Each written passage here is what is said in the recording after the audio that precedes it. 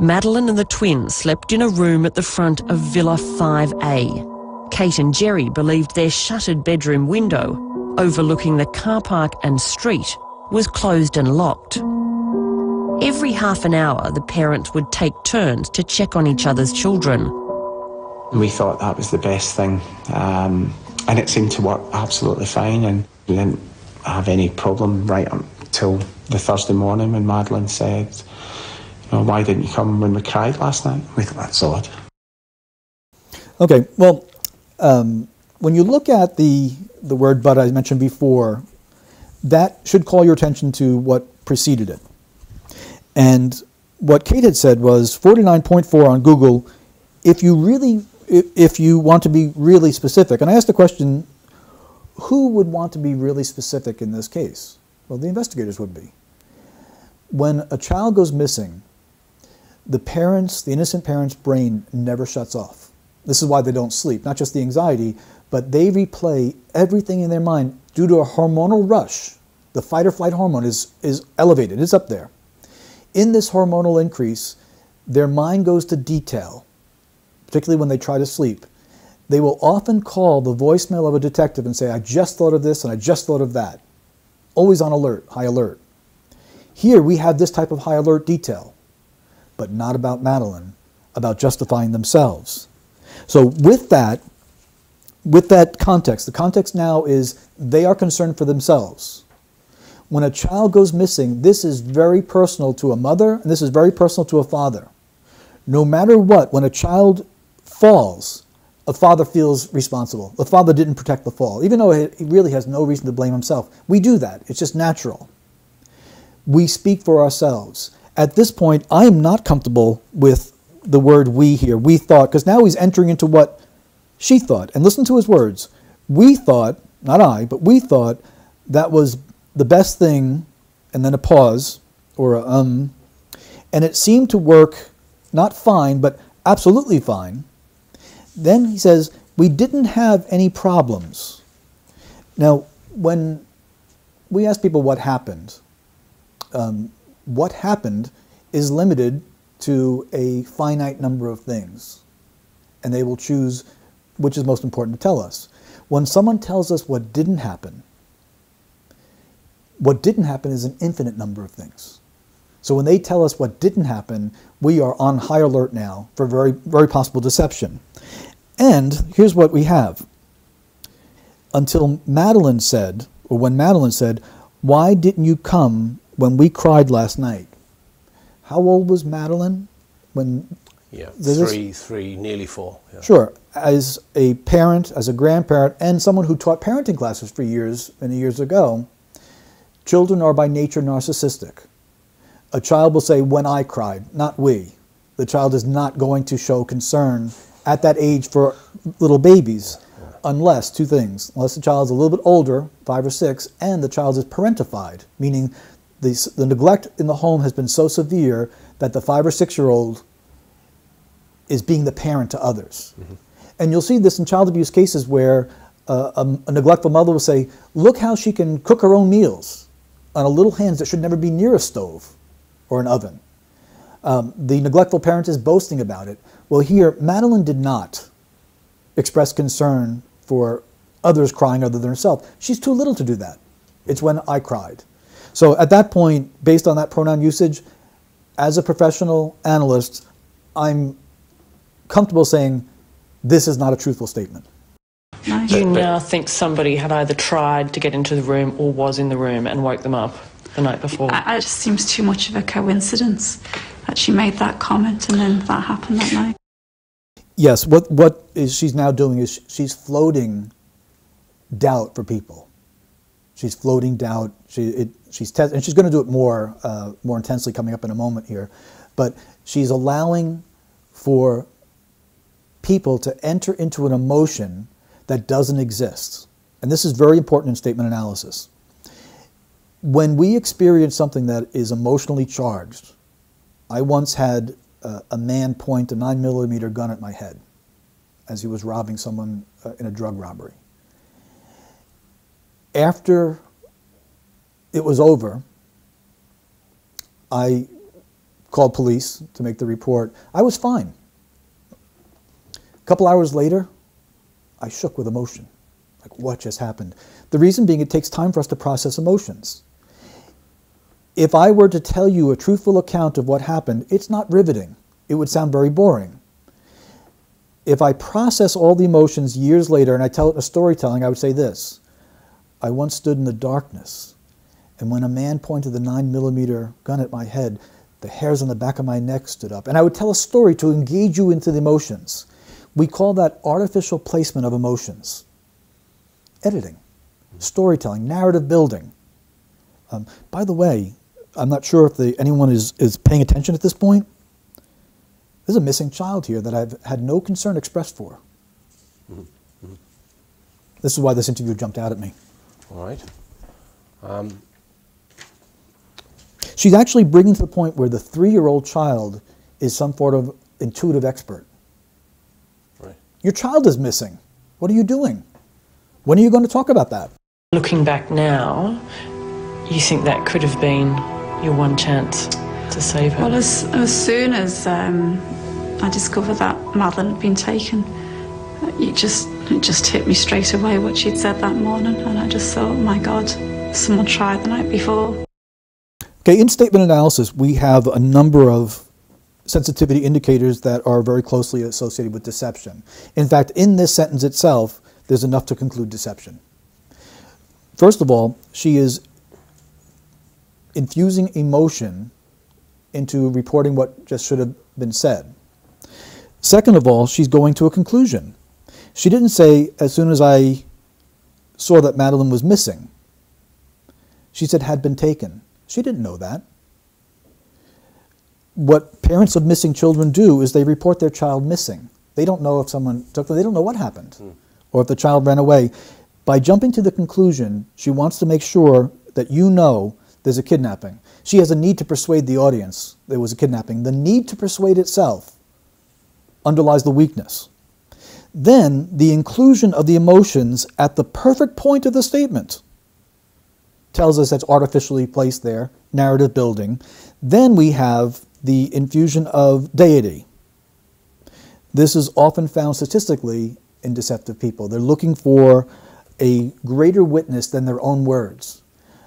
When I ask someone, why should I believe you? Because I told the truth, because I'm telling you the truth. The, the weight of testimony is because it's true, which says basically, if you don't believe me, you're an idiot, get a new job. You shouldn't even be investigating because I told the truth. There's, the, the burden is on you because I'm free because I told the truth. No matter how much you dig, you'll never find contrary because it's truth. The entire weight of the argument is based upon truth. If someone says, I didn't steal the money, why should I believe you? Because I'm telling the truth. 99.9% north, they're telling the truth. That's how powerful it is. They're basing their denial upon truth.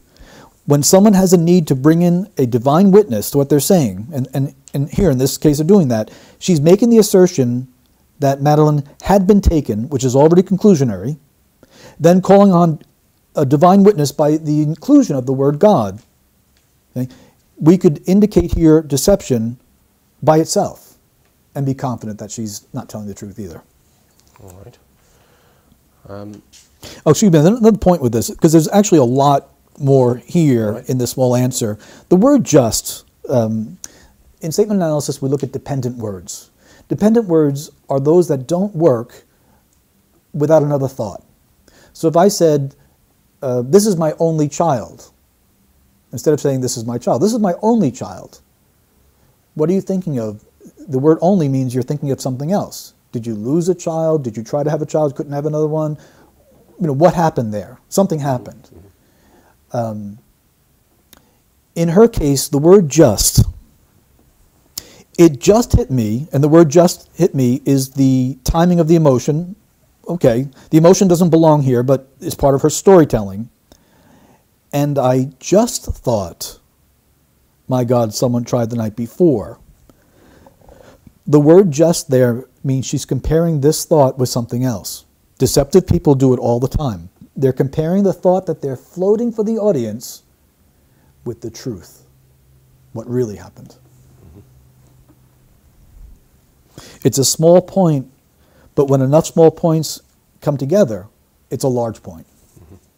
In that, that answer, we have her logical conclusion, her comparisons. Um, we have her giving detail that doesn't add up to what children respond like. And we know that at this particular point in the statement, her concern sh- should not be what a three year old thought, but what my three year old is going through right now. And that again is missing. On Thursday night, Kate put her daughter to bed for the last time.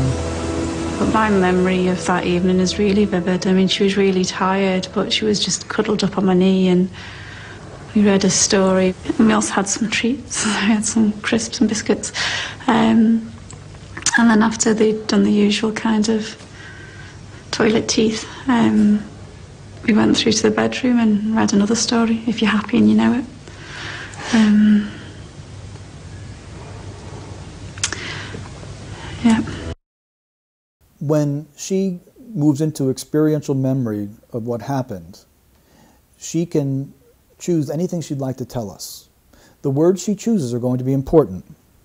So, my memory of that evening first of all, we have the word that, which distanced herself from that night, which could be appropriate because it's chronologically it's distant. She said, It's really vivid. It's really vivid. And that's interesting because that type of clarification comes when there's a hormonal increase. The fight or flight hormone that, that cortisone and others that rise in the body to the brain brings great clarity of thought. But if this was a normal, quiet, happy evening, what would cause such vividness in her memory? So she's, what she's doing is she's, tell, she's narrative building, but she's telling us that this night was anything but normal. Now, this is my assertion to the viewers. By saying it's really vivid, she's choosing these words. She's telling us, she wants us to believe that her memory is very strong with details. It's not just vivid, it's really vivid. And I believe her. I mean, she was really tired. Now, she is using her own words. We must believe her, we must listen to her. I believe that her memory of that evening is very vivid because her hormones were on super high alert. I believe that Madeleine was really tired and that Madeleine's tiredness is important to this case enough that she's mentioning it here. We should be listening and believing her. Mm-hmm. But she just cuddled up on my knee and we read a story. And we also had some treats. This is a portrayal of a really good mom. Okay? Now, I'm asking the viewers to enter into not reality, but the verbalized perception of reality. She's telling you, my memory was re- is really strong for a reason. I believe her.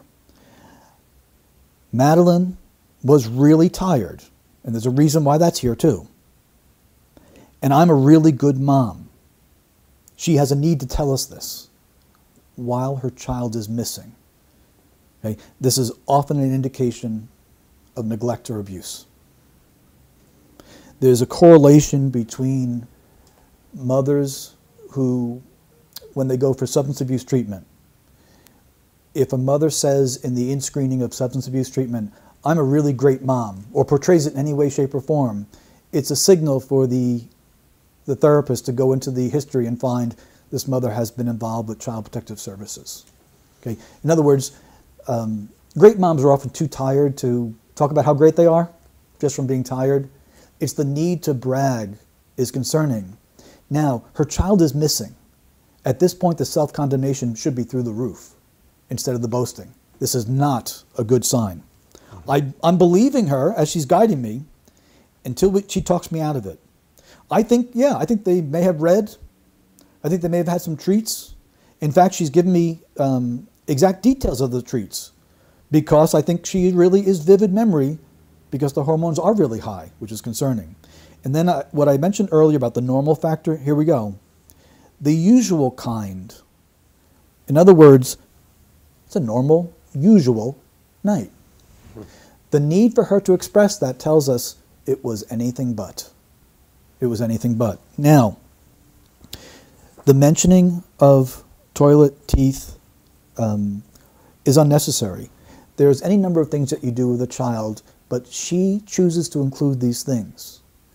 These associations in language are often associated with sexual abuse. Right. And this- I, I've heard you say that before, uh, Peter, or read read that. What, what that that seems quite. Sort of, I don't understand why that might be the case. Sure, and it, it does warrant an explanation. I was once um, investigating a robbery, and uh, the employees were asked to write out a statement of what they had done. And one woman wrote, I woke up, brushed my teeth, got dressed, and went to work. And she included the brushing of her teeth. And in statement analysis, we believe what someone tells us. I believe she brushed her teeth. I also know that when people include brushing of teeth in a statement, it's very rare. It's important to her. It's something that we all do, and 90% plus people don't feel necessary to tell us they brush their teeth. So, why would brushing teeth be so important to her? So, I spoke to the owner of the business and said, I would like to speak to this young woman about the theft. I said, no, she didn't steal, but I believe she's a victim of domestic violence and she knows who did. And they, the owners were shocked. How could you possibly known that? We had met with her. She is in a domestically violent relationship. We talked about it. We've been trying to get her out of it, but she won't listen to us. How did you know? I said, because she brushed her teeth. And they thought that, that was just crazy. I said, no. What we do is we flag personal hygiene and we ask you to consider what her life is like. Women that are involved in domestically violent relationships are generally not subject to violence. It is the threat of violence that controls them.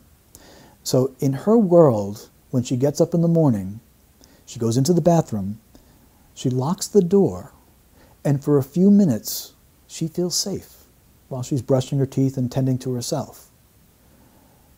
Because the rest of her, her life is controlled by him. He might text her at work, he might call her at work, he might control things. And what I think happened there was that she allowed him and his gang to enter access into the building to commit the theft. Brushing of teeth was something so important to her that she mentioned it.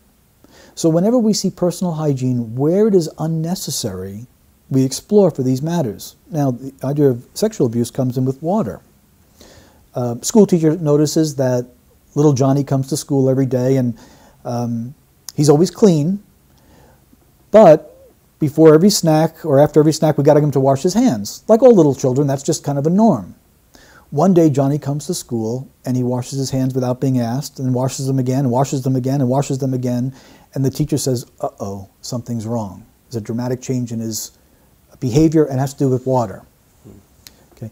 What they have to, have to explore for is the possibility of sexual abuse. Um, when a child is sexually abused very early on, in the bedroom by a trusted family member, the child's sensory is different. And someone may be 40 years old and say, When I went to the store, I opened the door and went in. You can't go to the store without opening a door. Hmm. Why would he mention door? Because in his brain, there is an association with the sound of an opening door that's with him forever.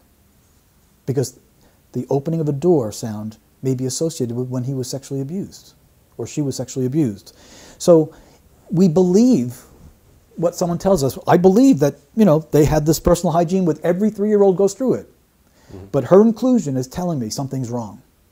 Remember the context also. Her child's missing. She hasn't mentioned a thing about what Madeleine's going through, but she's talking about Madeleine's hygiene here with detail. So um, I believe what she's telling me in that sense, but I know there's, there's a reason why she's choosing these words. Then when she says the usual kind, What she's telling you is something unusual happened between her and Madeleine that night.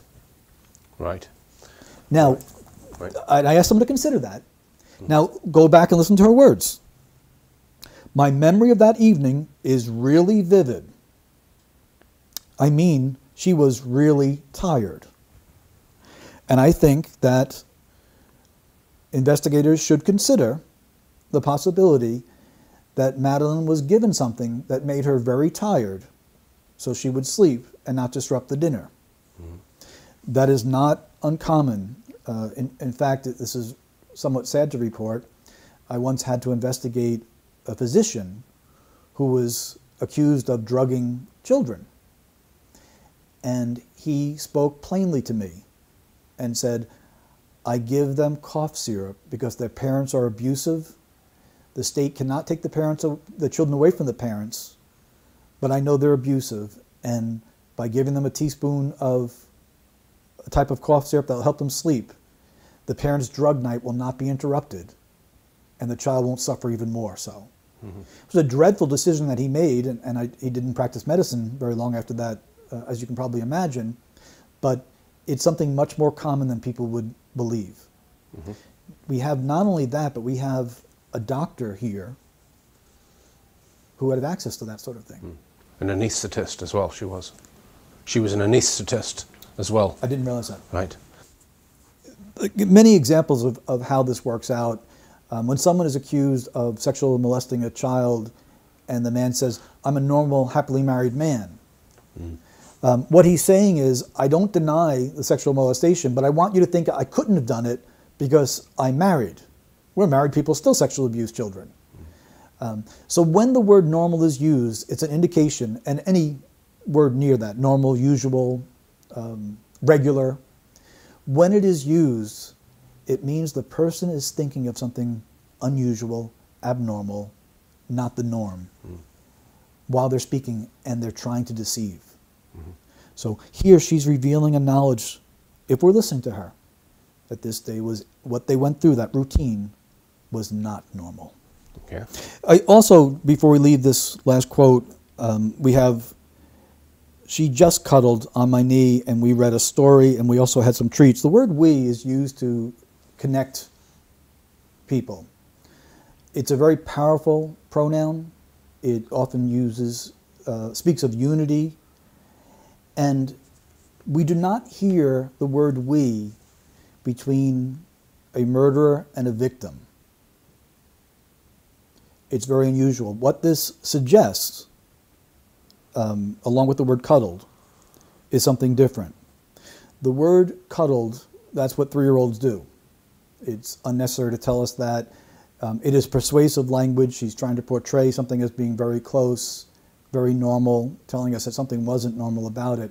But the word we suggests something to consider that what happened to Madeleine that night may not have been intentional.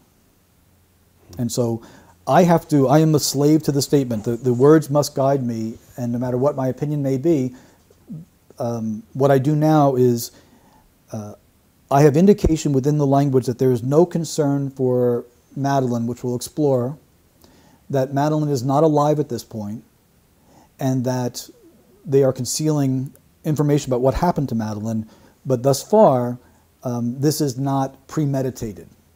This is um, someone who was had a, a a boundary set up in the family, and the ties that bind them together here produce the word we. W- When you say that night, right? Uh, the night that uh, something happened, if it happened, um, c- are you convinced that it's the night that they said, or, or do you think it could have been a different night, a, pre- a previous night, Oh, it, it could be the previous night. This could or, or, or previous, not necessarily the the date they've said? Yeah. It- That's a very good point because usual is given. Usual is given. Um, what she could be talking about is patterns. Speaking of patterns, if this child was given something to make her sleep, it wouldn't have been the first time. And that's what that could suggest. if if you've watched my final film, a lot of people think that they spent three days or so uh, before they announced to the public that Madeleine had Oh, uh, gone missing.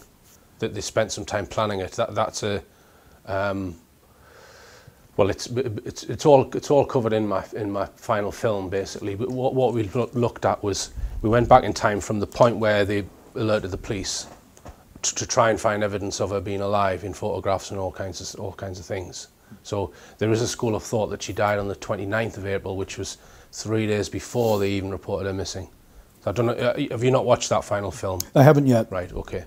All right. Right now, it's not supported by the language, but the reason I mention it is because what I do is I have to be open to anything that comes in, and what I'll say is the language will affirm that, the language will deny that, or the language won't address it.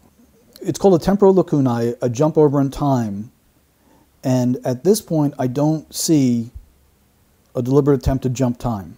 Okay. And if it comes up later, I'll, I'll grab it, but I don't see it at this point. All right. At 9 pm, Gerry checked on Madeleine and the twins. I actually stuck my head round the door and, and I just lingered for a few seconds and thought how beautiful she was. Um, And that that's was- the last time I saw her. This is very concerning. This is a, a statement that bothers me a great deal. First of all, he begins with the pronoun I, which is, means psychologically he's putting himself there. This is good. We want him to be there. We want to have reliable information. But the next word is actually. The word actually means he's comparing what he's claiming to do with something else. Why would that be necessary at this point? Then I'd actually stuck my head around the door and I, I just lingered for a few seconds and thought how beautiful she was, um, and that was the last time I saw her. At this point, his child is missing, not dead, according to their narrative. Even though he's referencing a specific night, is Madeleine no longer beautiful? And I, what I ask the viewers is to consider that when you give a detail of a past tense event, the details should be in the past tense appropriately. When you speak about character or ongoing characteristics of a missing child, it should be present tense. And I thought, how beautiful she is. And that's the last time I saw her. That would be more acceptable. This is a past tense reference to Madeleine herself, not specifically bound up to a detail, um, but actually, was she only beautiful that night? That's what I, I mean by an attribute. So when someone uses an attribute of a missing child in the past tense, it's not a good signal. It's not a good signal at all. Now, he also stuttered with the pronoun I. So what we look for is that does he normally stutter? And he doesn't. He's not a stutterer. The pronoun I is something that we in the English language use millions of times. We are as good at using the pronoun I as we could be as good at anything in, in this life. When someone stutters on the pronoun I, there is an increase in tension and anxiety. And this stutter bothers me here. And it's important. He's talking about his daughter in the context she's still missing. So while you know, the several things are wrong, he gives a narrative or an emotion. He references her beauty, which should be ongoing, and it's not. And he stutters on the pronoun I. And I still wait to hear concern for what Madeleine is going through while this interview is being conducted. And that's going to be a bigger point as we move forward. Yeah. Excuse me. The last time someone sees a missing child is always going to be important.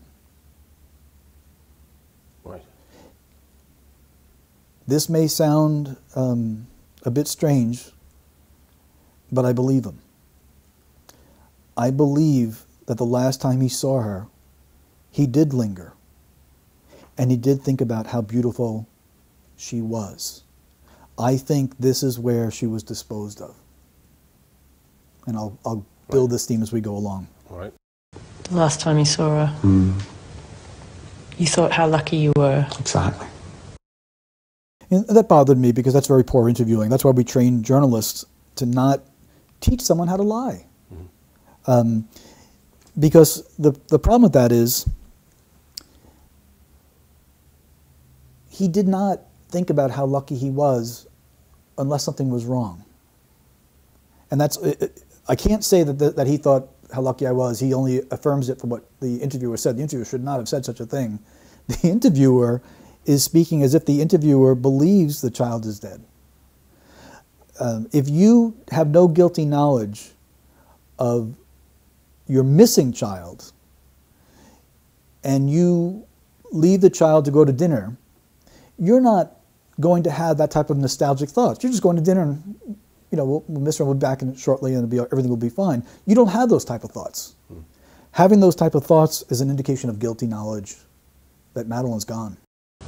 Your world shattered uh, within an hour. We now have a period of time, and we also have uh, a case of distancing language where he didn't say, My world is shattered. If my daughter was missing, my world is shattered.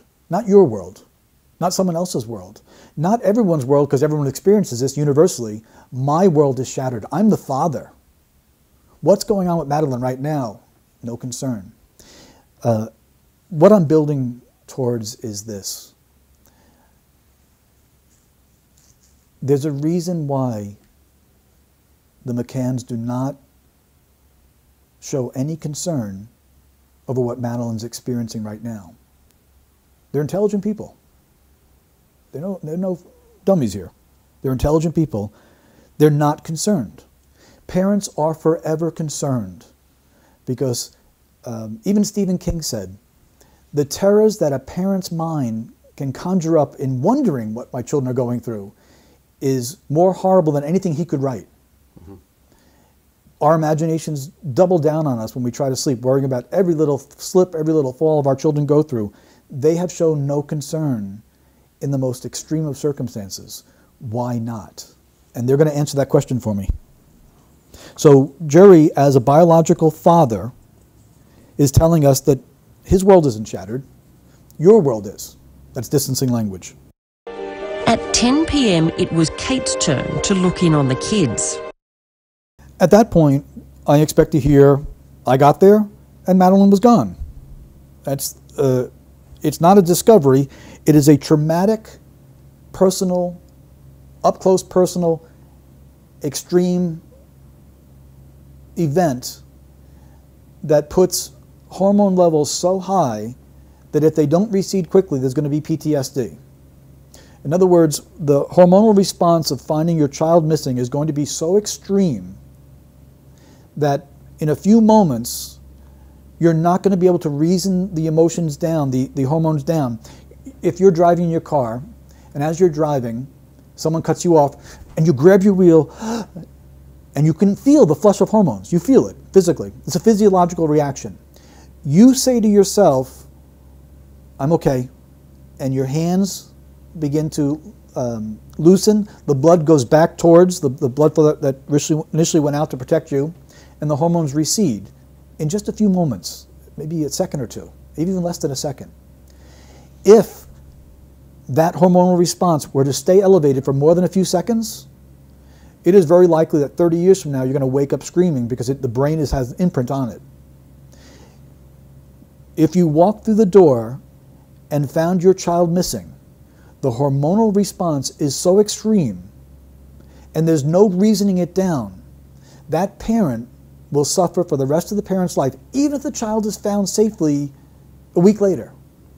30 years later, the parent will still wake up screaming because the imprint on the brain, the, the inability to, for the brain to process the most powerful of human emotions, of mother child bonding, uh, it can't happen properly. And so we can mitigate it by trying to get them to process it. Journaling is, is very helpful, but it is so intense. And that's why the, the vividness is so powerful. And it's physiological.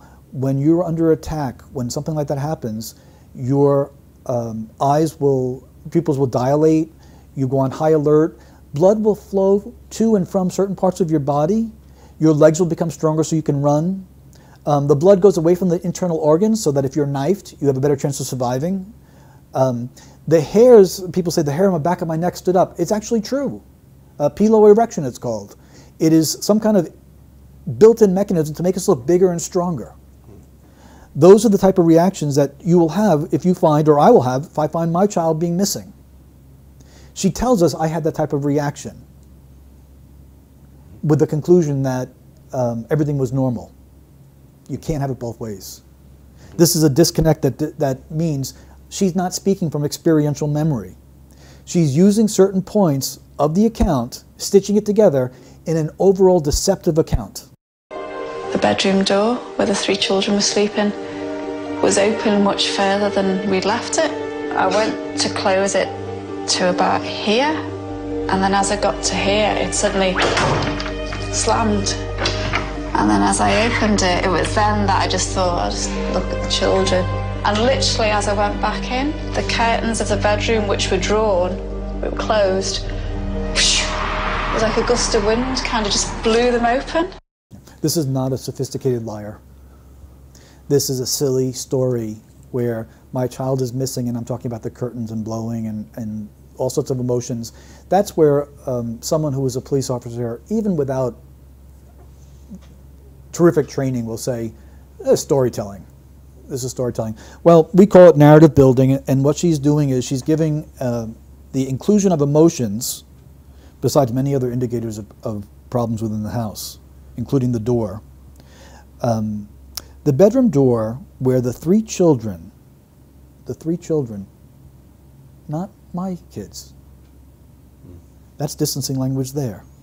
We're sleeping was open much further than I'd left it. That's not what she says. We left it. Does that mean that she and her husband each took a hand and move the door to a certain level together? Because that's what she wants me to believe. Mm -hmm. She's lying. Mm -hmm. This is deception. The fact that she's using door for deception um, is because she's building a narrative about a kidnapping. The need to build a narrative about kidnapping says the child wasn't kidnapped. That, that plainly. And literally, as I went back in, the curtains of the bedroom, which were drawn, were closed. It was like a gust of wind blew upon them. She's asking you to enter into an emotional, fictitious account. This is the writing of fiction. Um, this is something that even Statement Analysis 101 would be able to grab on. Mm -hmm. So I conclude here, deception indicated from this alone.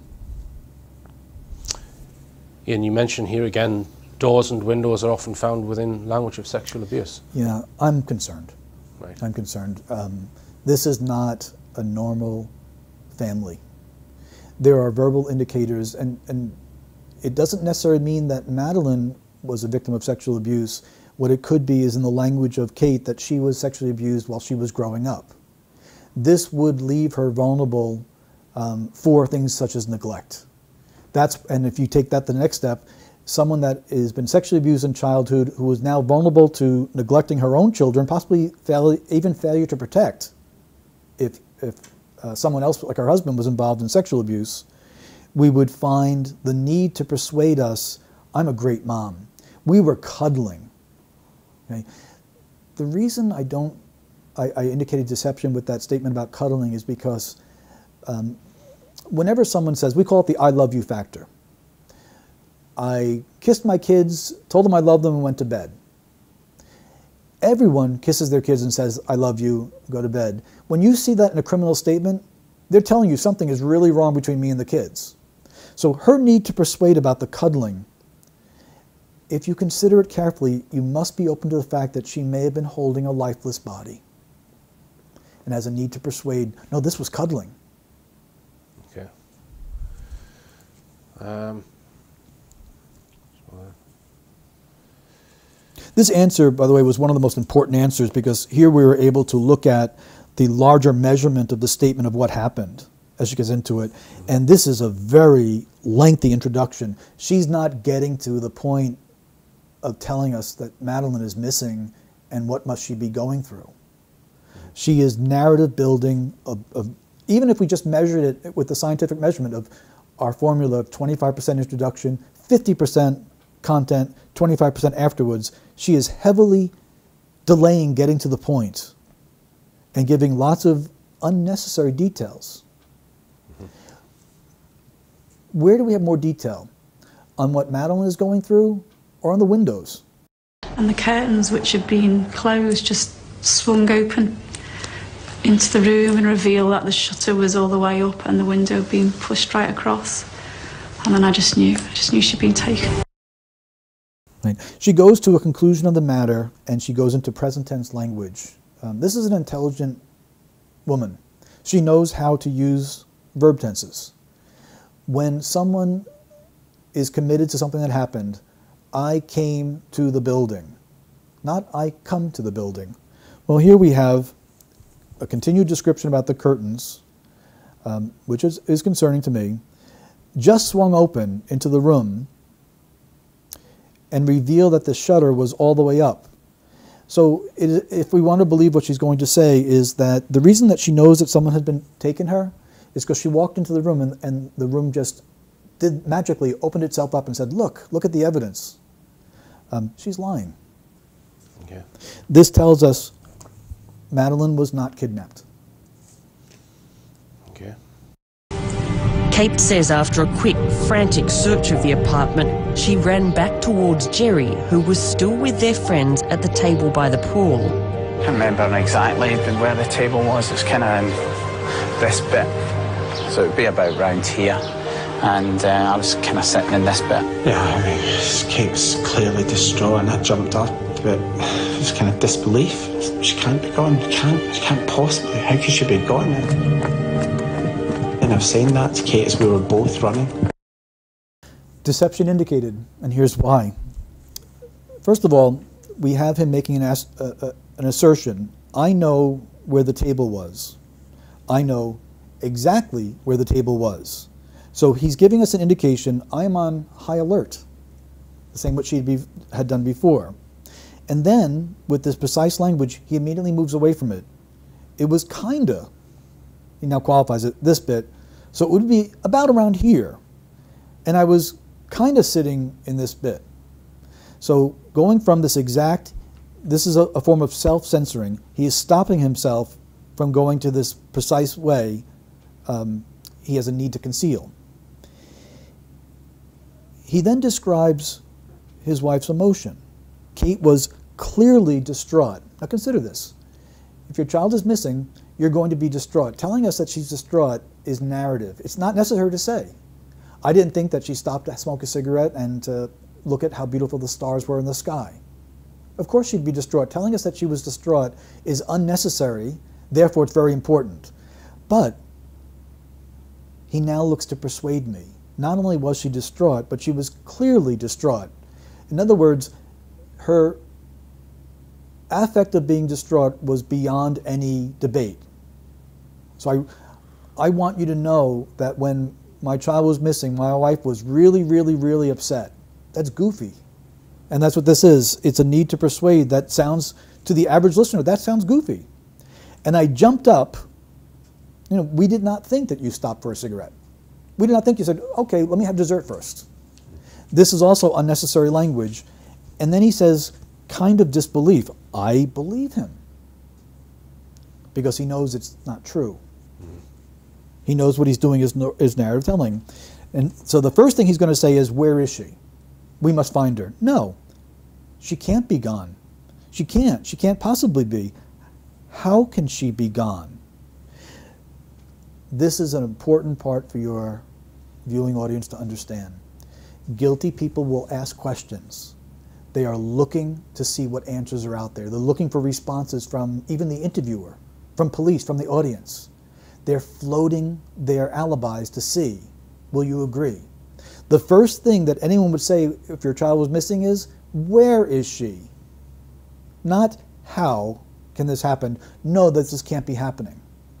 Now, we don't even reach denial stage yet. As a father or mother, the first thing we do is, No, I'm going to find her. She wandered out. The door was open. She's out here. Let's get her. They know that she didn't wander out. So he artificially not only imputes his emotions into this part of the statement, he artificially inflates both of their emotions. Um, the fact that he says that he had to do something immediately, uh, and I jumped up. I jumped up. It itself is unnecessary. Of course, any father is going to jump up. He has a need to persuade us. He might, at this point, be reliving the emotions. I'm sorry, the, the motions that he went through in this.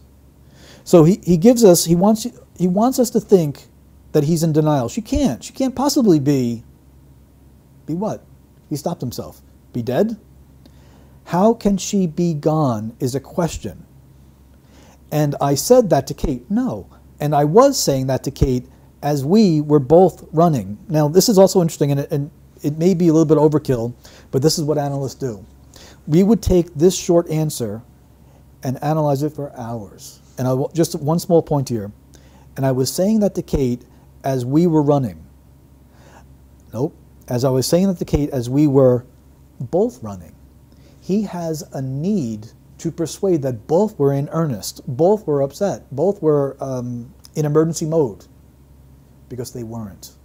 Those that are in emer emergency mode don't even need to tell us they're in emergency mode, but they certainly don't need to persuade us. His need to persuade that they were in emergency mode tells us this was not unexpected, this was not an emergency. Richard, he's lying. Okay.